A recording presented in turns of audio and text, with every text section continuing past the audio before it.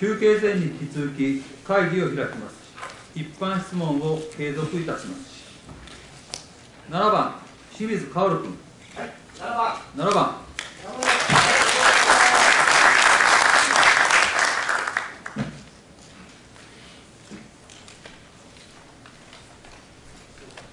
7番はい7番。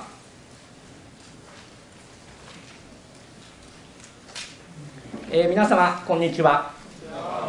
えー、7番、えー、自民党県議団清水薫でございます。歴史と伝統ある岡山県議会9月定例会に質問の機会をいただきましたことを心から感謝を申し上げます。早いもので私がふるさと津山市駒田郡勝田郡選挙区で岡山県議会議員というお役目を頂戴し2年5か月が経とうとしております。この間多くの皆々様に学びや気づきそして出会いを頂戴し本当にありがたい限りでありますいただきましたことをしっかり生かし初心を忘れることなく前を向いて全力で頑張ってまいります東京オリンピック・パラリンピックが開催され、多くの感動を世界中にもたらしました。選手の皆様、大会関係者の皆様に心から敬意と感謝を申し上げます。さて、デルタ株による感染拡大が東京を中心とする首都圏だけでなく、全国においてこれまでにないほど急速な勢いで進んでいます。本県においても例外ではなく、これまでに経験したことがない爆発的な感染拡大が起きており、8月27日には3回目となる緊急事態宣言が適用されました。この感染爆発ともいえる状況に対応するため、本県では県内全域で酒類やカラオケを提供する飲食店などに休業の要請、県民には昼夜を問わない不要不急の外出の自粛などを呼びかけるとともに、入院病床や宿泊療養室数の追加確保、自宅療養者の健康観察体制の充実など、さまざまな対策を講じてきています。この新型コロナウイルスが世界中に蔓延して、早1年半が過ぎました。この間、医療関係者の皆様、福祉関係、学校関係、消防関係、保育園、幼稚園、放課後児童クラブの関係をはじめ、多くの皆様のご尽力により、私たちが今を暮らしています。本当に心から感謝を申し上げます。本県も知事を中心に、議員の先輩諸子、職員の皆々様が一致団結して新型コロナウイルス対策に挑んでまいりました。これからも何卒よろしくお願いいたします。それでは通告に従いまして質問に入らさせていただきます。最初に中山間地域の振興について伺います。私の地元である津山市では昭和から平成へと歴史を刻み令和へと伝統を継承してきた津山納涼権後祭りがあります津山市の代表的な夏のイベントであり伝統的な祭りでこれまで43回開催計画をされています今年度も津山市の活性化へとつながるようにまた祭りを通じて人と人とが交流を深め合い互いが互いを理解し笑顔が笑顔を呼んで絆を育めるような祭りにしていきたいと地元が一丸となって開催を目指してまいりましたが新型コロナウイルス感染症の影響により昨年に続き残念ながら中止となりました。このように地域を代表するイベントの中止が余儀なくされている一方で農作物の収穫への感謝と翌年の豊作などを記念して集落等で行われる地域に密着した秋祭りなども各地で中止、縮小されております。ここで問題となるのは、集落等で行われる規模の小さい秋祭りなどについては、単に祭りがなくなって残念だということにとどまらず、祭りが開けない状況が続けば、特に高齢化の進行、集落機能の低下による担い手不足などの課題がある地域においては、今後、開催自体が難しくなり、その地域に伝わる文化の継承が止まり、ひいては地域の活力が失われることであります。中山間地域では、今後急速な人口減少が続くと予測されています。高齢化の進行、集落機能の低下や生活面での不安が増大し、地域社会の活力が失われつつある担い手不足の深刻化など多くの課題を抱えています。昨年度改定された岡山県中山間地域活性化基本方針には中山間地域の現状と課題として人口減少の拡大や高齢化の進行のほか新型コロナウイルス感染症の感染拡大により地域住民の交流の機会が減少し地域のつながりや都市部との交流にも影響が生じることが懸念されており、地域づくりを支える人材を確保する必要があると、集落機能の低下による担い手不足の深刻化について掲げられています。また、重点的に取り込む取り組む施策の中には、伝統文化等の継承と発信及び都市住民との交流促進として、豊かな自然や優れた景観、文化財、日本遺産、伝統文化などの地域固有の文化資源等を適切に保存、継承し、地域のつながりを強めるとともに、それらの魅力発信を継続的に行い、地域外の都市住民などとの交流促進を図るとあります。県では中山間地域活性化基本方針を踏まえ、中山間地域と振興特別事業等により、中山間地域の振興に向けて取り組まれておりますが、新型コロナウイルス感染症の影響が長期化する中で、このような地域の課題を積極的に把握し、さらなる対策を講じる必要があるのではないでしょうか。県として積極的な対応をお願いしたいのですが、この課題をどのように把握し、地域社会の活力が失われないよう、どのように取り組んでいかれるのか、知事のお考えをお聞かせください。答弁を求めます。知事、ゆかり住宅。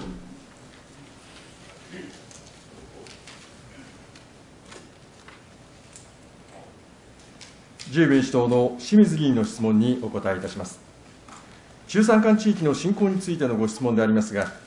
長期化するコロナ禍により、地域の活力低下が懸念される状況にあるものと認識しております。こうした中、集落訪問が難しい場合には、電話やアンケート等も活用しながら、課題を積極的に把握し、多様な主体と連携し、地域の活力を創出することが重要と考えております。このため、地域行事を支える集落応援団の派遣に加え、地域おこし協力隊の活動や、学生による地域課題解決の取り組みを支援しており、新たに今年度から地域活動を支える組織の設立や活性化にも取り組むこととしております。また、コロナ後を見据え、首都圏におけるセミナーなど、関係人口の拡大に向けた情報発信の強化にも取り組んでまいりたいと考えており、こうしたさまざまな取り組みを通じて、中山間地域の振興に努めてまいりたいと存じます。以上でございます。清水君、よろしいですか？よろしいですか？はい。はい次の項目に移りますので、答弁者は控え席へ移動願います。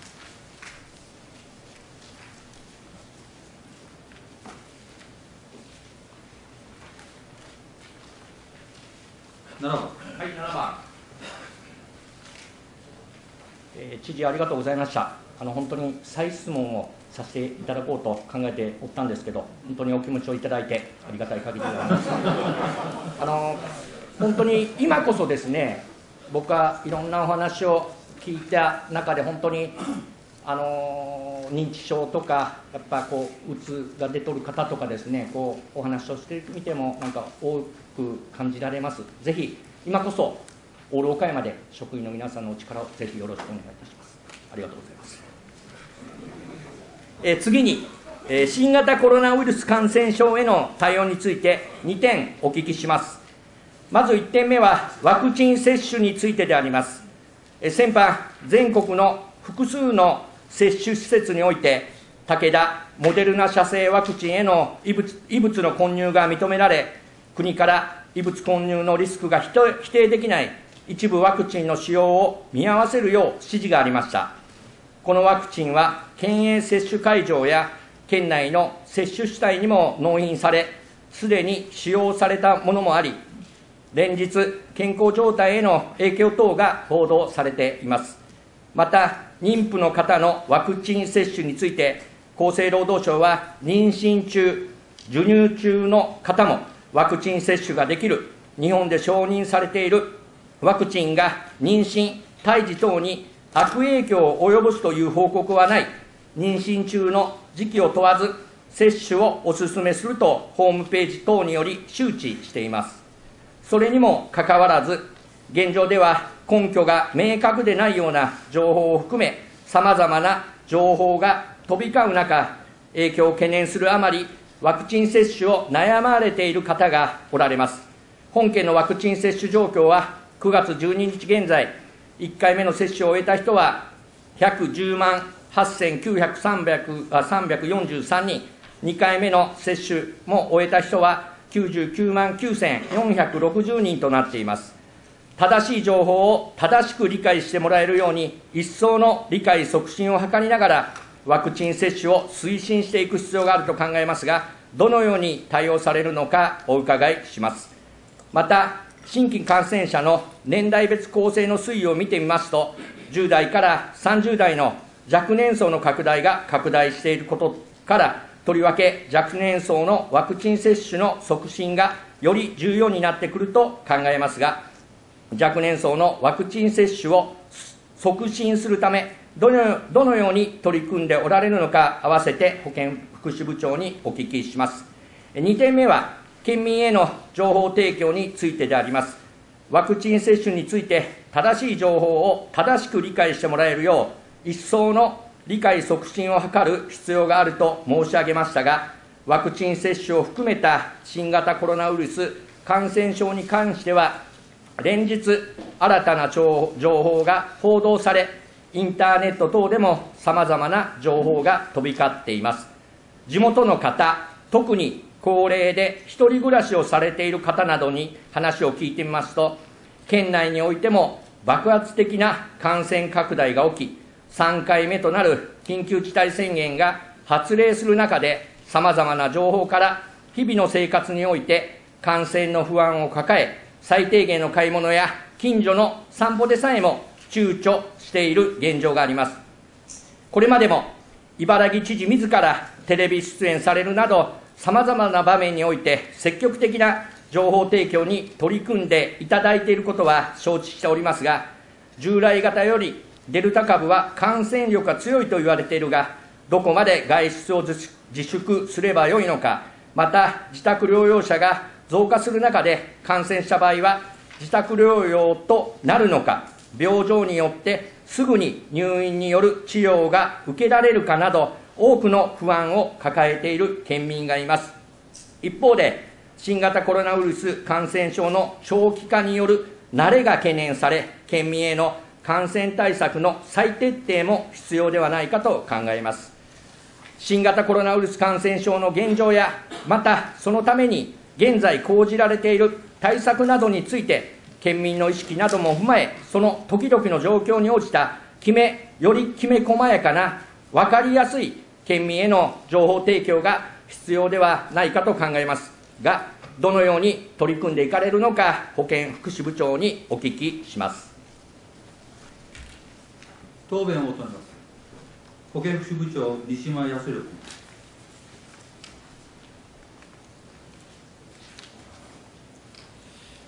お答えいたします。新型コロナウイルス感染症についてのご質問であります。まず、ワクチン接種についてでありますが、接種に際しては、ワクチンの効果と副反応についての正しい情報に基づく基づき判断していただくことが大切であることから、引き続き、あらゆる機会を捉え、最新の知見を分かりやすく発信してまいりたいと存じます。また、若年層に対しては、ワクチン接種が自分だけでは自分だけでなく、誰かの命を守ることにもつながるといったナジメッセージを活用した情報発信にも取り組んでいるところであり、引き続き他県の事例なども参考にしながら、若年層も含め、全年代の接種を促進してまいりたいと存じます。次に、県民への情報提供についてでありますが、これまでも感染状況に応じついて、感染状況について、居住地や年代、行動履歴等履歴等で分類したグラフを示しするとともに、感染拡大防止対策として要請している内容について、5つの岡山ルールやマスクコードとするなど、県民の皆様に分かりやすくお伝えするよう努めてきたところであります。今後ともあらゆる広報媒体を活用しながら、県民の皆様が求める情報を適切なタイミングで丁寧かつ分かりやすく提供するよう心がけてまいりたいと存じます。以上でございます。よろしいですか？いや、あの項目は？過去2で。2、はい、7番。はい、はい、7番。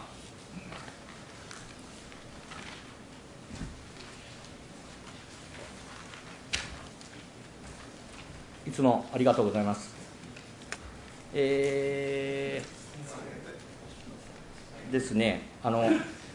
県のホームページを見ていても、本当にあの新型コロナウイルス感染症について、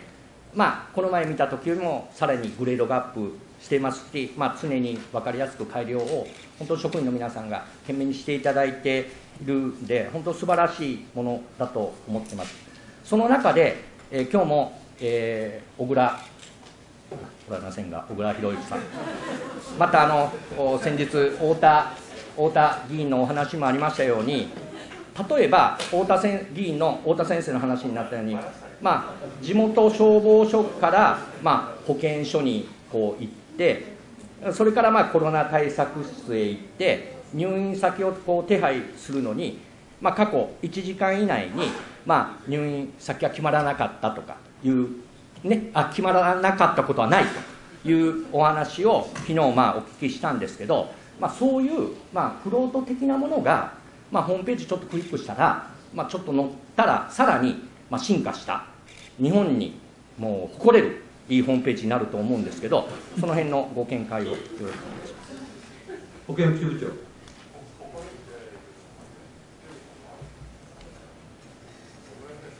再質問にお答えいたします。えー、黒取的な内容も含めてホームページにあの入れるなど、まあ、ホームページをもっとこういうあの充実したらどうかというご指摘あのあのご提案だというふうに思います。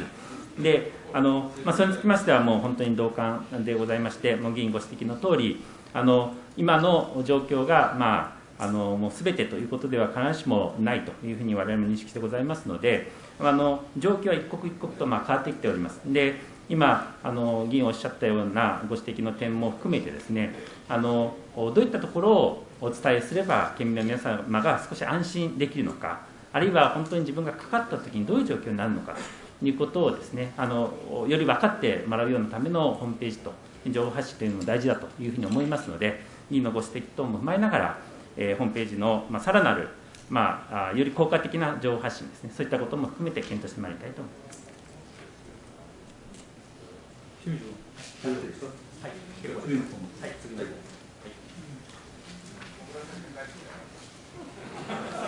次の項目に移りますので、答弁書は控え付け議論になります。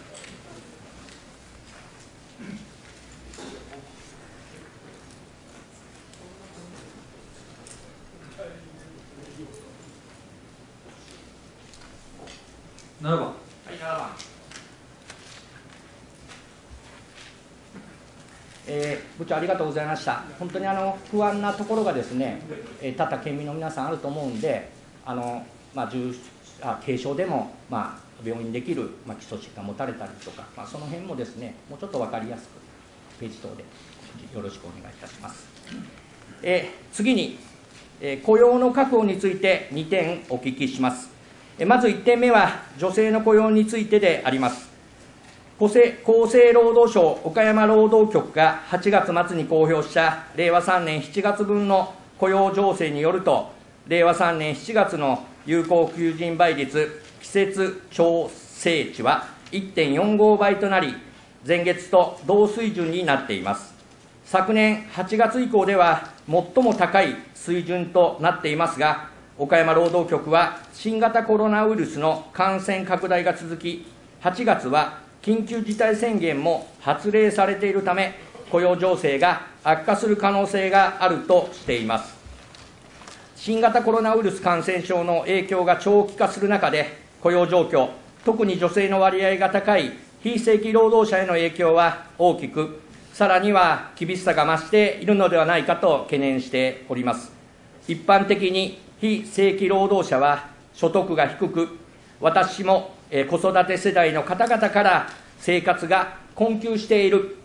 先が見えないとの声をよくお聞きします。私はこれまでも県内の雇用状況について質問をさせていただいておりますが、前回、令和3年2月定例会において、女性の割合が高い非正規労働者への対応をお聞きしたところ、産業労働部長からは、県では岡山就職応援センターでの専門のコーディネーターによる丁寧なマッチングのほか、女性求職者向けの就職支援イベントの開催などの取り組みを進めているところであり、引き続き労働局等と連携し、企業や求職者のニーズに沿った職業紹介や職業訓練を実施するなど、就労支援にしっかり取り組んでまいりたいとの答弁をいただきました。新型コロナウイルス感染症が長期化する中、日々状況は変化しており、実態に応じたきめ細かい支援が求められていますが、現在の非正規労働者の雇用状況はどのような状況でしょうか。また、前回答弁をいただいた就労支援のこれまでの取り組み状況はいかがでしょうか。さらには今後、どのように取り組んでいかれるのでしょうか。合わせて産業労働部長にお伺いいたします。2点目は学生のアルバイトのアルバイトについてであります。緊急事態宣言等に伴う休業や時短営業による飲食店等は非常に厳しい経営を強いられており、その影響から学生をアルバイトとして雇用することが厳しく、結果として学生アルバイトの機会が失われるとともに、少ないアルバイトの機会を奪い合うような状況にとなってきております。学生は収入を得るためにアルバイトがしたくてもアルバイト先が見つからない。仮にアルバイト先を見つけることができたとしても時給の水準が下がっていることやシフト減等のため十分な収入を得ることができない状況となっており新型コロナウイルス感染症は学生の生活に大きな影響を及ぼしています。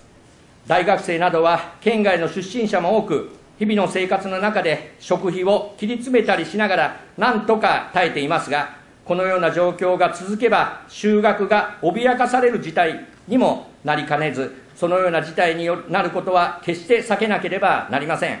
県として学生アルバイトの状況をどのように把握されておられますか？また、学生アルバイトに対する支援策が十分に理解されていないことも考えられ、支援策がしっかり活用されるよう、学生に対する積極的な周知や、学生に対する相談体制の強化が必要と考えますが、今後、どのように取り組んでいくのか、合わせて産業労働部長にお聞きします。答弁を求めます。産業労働部長、三浦聡美君。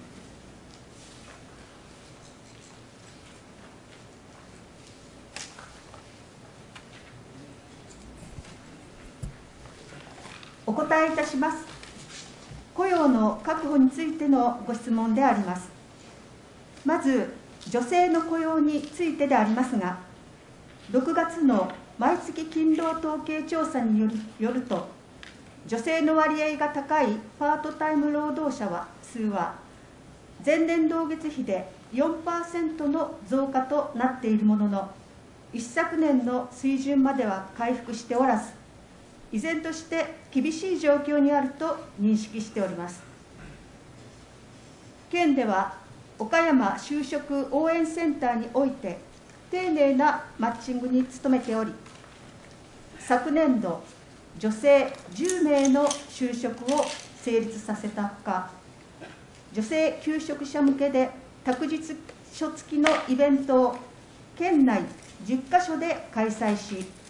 参加した延べ140名に対して個別の就職相談や企業面接会の実施など、就職支援を行ったところであります。引き続き、労働局等と連携し、求職者一人一人の状況やニーズに応じた職業紹介、新たな職域での活躍に向けた職業訓練などにしっかりと取り組んでまいりたいと存じます。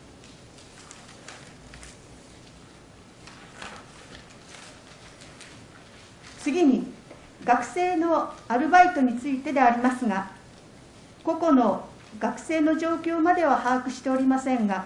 飲食店等の休業や時短営業等により、学生のアルバイトにも影響が出ているものと認識しております。感染症の影響により、休業やシフト削減となった学生が、事業主から休業手当の支払いを受けることができなかった場合に対応するため、国が休業支援金等を支給する制度を創設し、学生等に対する周知や申請に関するサポート体制の整備を行っているところであり、県としても引き続き、こうした支援制度の周知等に努めてまいりたいと存じます。以上でございます。いいえー、何各一番。一。はい。七番。はい、七番。えー、ありがとうございました。本当に日々職員の皆さん、本当に県民のためにご努力いただいていることは十分承知しておりますが、えー、先ほどのあの部長のご答弁の中で、まあ10、10, 人いたんですかね、100何人来て、これは多分何らかの理由があって、その10人の数字になってるって、マッチングがそのあんまり進んでないだ失礼なんかも分かりませんが、そうなってると思うんで、何か理由が分かれば教えていただきたいんですが。産業労働部長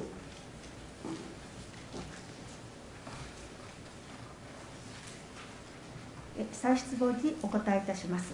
先ほどあの昨年度の、えー、成立した、え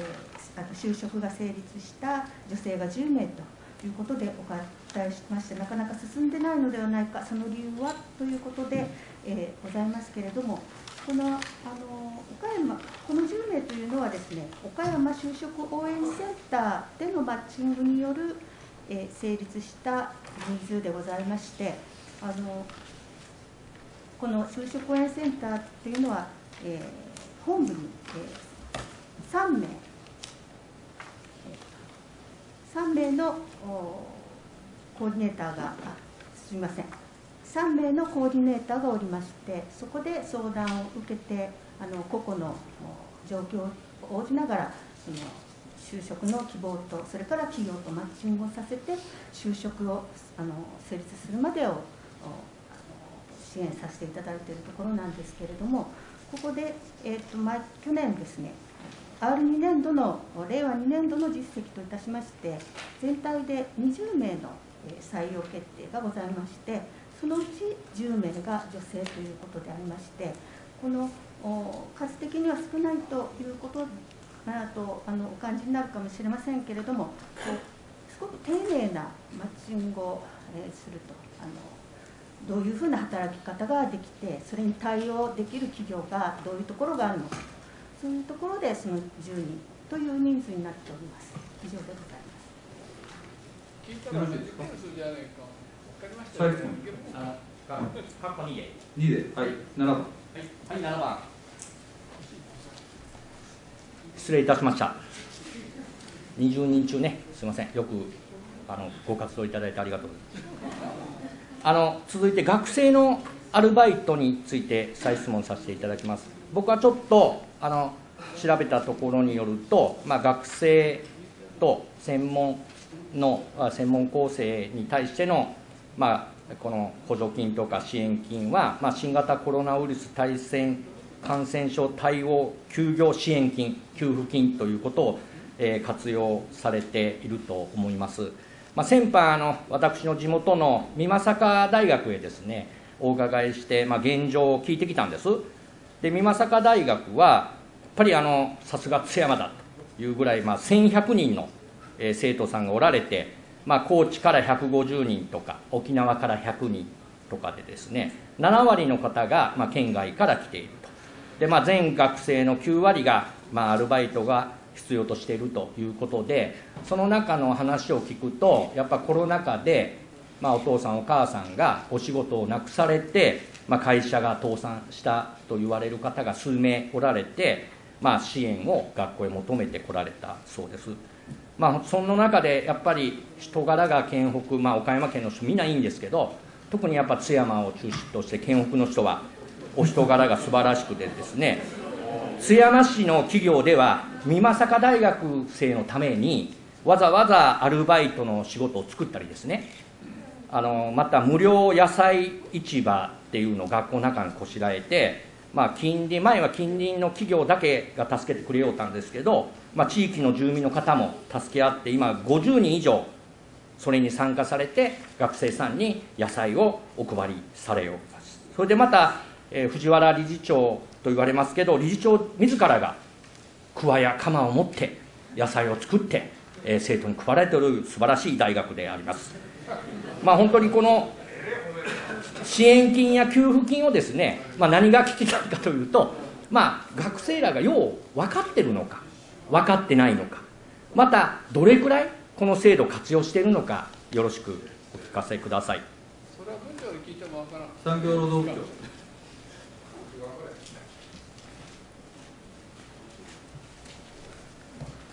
いろいろ主従、えー、支援制度がある中あの学生がどの程度分かっているのか、えー、というどういう支援が届いているのかということでございますけれどもあの国の方もですねこういった支援制度ホームページであの紹介したりそれから厚生労働省ではあの新卒のあの窓口のハローワークの方で、まあ、新卒ですからそのまあ、新卒なんですけれどもそういったあの学生に対する、えー、支援制度がこういうことあるよっていうようなことを周知したりですとかあのそういった、えー、からあのこういう休業支援金っていうのがあるんですけれどもあの新型コロナウイルス対応休業支援金給付金といいましてあの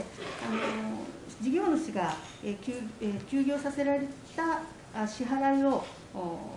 支払えなかった場合に、まあ、学生を受けられなかった場合に日額の1万1000円を上限にして、えー、そういう給付金制度というのもありまして、まあ、そういったものもこういうあのあるよというようなことをですね文科省のホームページでもしっかり、えー、一覧表にして学生に対する学生が通うかあの活用可能な支援策がどういったものがあるのかっていうのを一覧表にしておりましたり先ほどのあの休業支援金のあと休業金の給付金ですけれどもそういったことも県のあのホームページといいますかあのそういうコロナ関係の支援策の一覧表の中にこういった休業金のことも載せておりましてそれもホームページの方で、えー、投付しております、しっかりそういうことをあのホームページでしておるんですけれども、まあ、あの最近学生さんは、インターネットでそういう情報を、活用されることが多いと思いますので、まあ、しっかりそういったネットをですね活用して、ホームページ等であのしていきたいんですけれどもあの学生がどの程度それをキャッチしてというところまではちょっと個々の情報まではあの把握していないところでございます。以上でございます。よろしいですか。はい。はい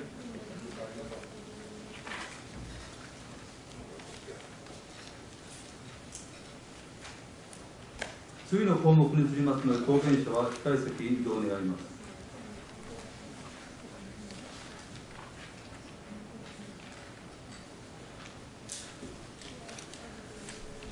7番はい7番、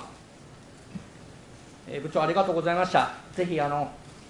地域の方もですねまあオール岡山なんでまたあの分かりやすくですねまあ、あの国の制度だということも私も分かりましたが、まあ、どっかでまたお知らせする機会をよくよろしくお願いいたします。お願いします。はい、えー、次に引きこもり対策についてお伺いいたします。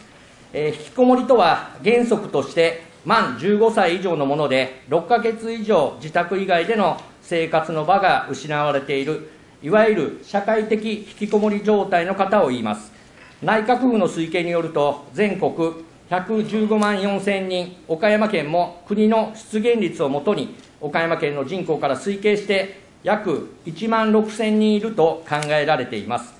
我が党の代表質問で、引きこもりの方や家族のための支援体制の充実にどう取り組むのかという問いに、現在、県精神保健福祉センター等に窓口を設置し、必要に応じて市町村と連携して対応するとともに、身近な市町村において相談窓口の明確化や関係機関が連携して個別支援に当たるための市町村プラットフォーム等の設置を進めており、今後とも支援体制の充実を図ってまいりたいとの答弁がありました。国でも市町村において属性を問わない包括的な支援体制の構築を目指す改正社会福祉法が本年4月に施行されました。私も地元の引きこもり支援団体 NPO 法人津山きびの会の関係者の皆様に多くのお話をお聞きしました。そのお話の中で改正社会福祉法の3つの支援の柱で相談支援、あ1、相談支援、2、参加支援、3、地域づくりに向けた支援に大きな期待をされておられました。そこでお伺いします。改正社会福祉法の施行により、岡山県の引きこもりの方への支援体制、役割をどのように認識し、取り組んでいこうとされているのでしょうか。また、改正社会福祉法の施行を市町村に対して、県としてどのように働きかけていますか。また、実際に相談の窓口を一本化した市町村はありますか、合わせて保健福祉部長にお聞きします。答弁を求めます。保健福祉部長、西島康弘君。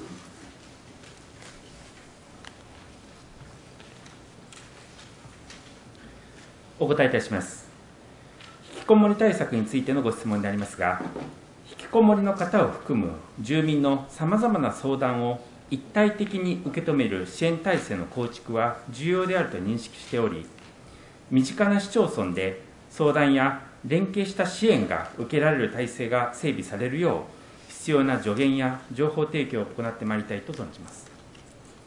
また、改正法に示されている包括的な支援体制の構築については、これまでも市町村に周知してきたところであり、現時点では4市町村が一体的な相談体制の整備に向けて取り組んでいるところであります。11月には事業の特徴や先行事例の紹介を行う説明会を予定しているところであり引き続き市町村の取り組みを支援してまいりたいと存じます。以上でございます。清水よろしいです。かはい、はい、7番はい、はい、7番ありがとうございました。まあ、あのこういった家族の会の、まあ、岡山県からこう委託というかあれを受け取るのがなんか3つあって、えー、その他にもですね、まあ、津山の吉備の会はそれにまあ入ってない小さい団体であります40人弱で、まあ、本当にもう805080問題とか本当にご高齢になられてあの地域の方がですね本当手を差し伸べてその理事とかにメンバー入ってちょっといろんな関係で、まあ、政治的なものも含めてですね、えー、今活動されておられます。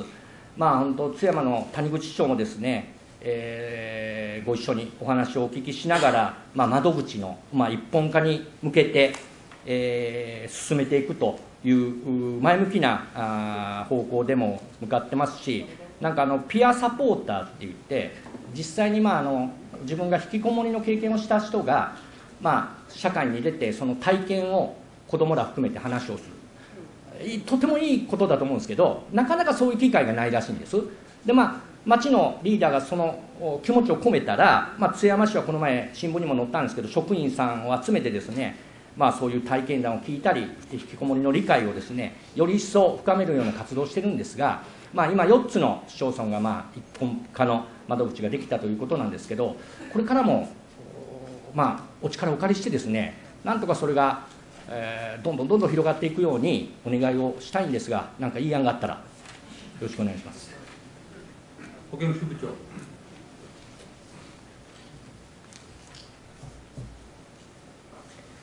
再質問にお答えいたしますまあ、4市町村の一体的な窓口をどうやって広げることができるかというあのご質問だというふうに思います。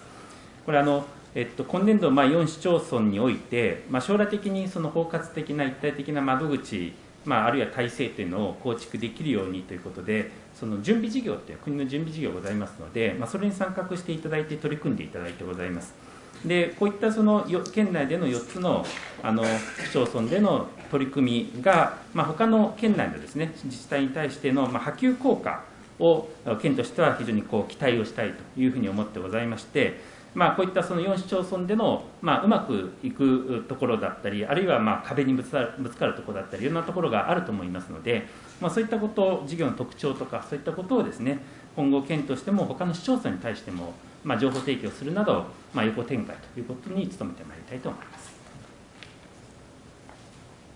よろしいですか？はい、はい、ありがとうございます。えー、以上で清水君の質問は終了いたしました。答弁者は自席にお戻りください。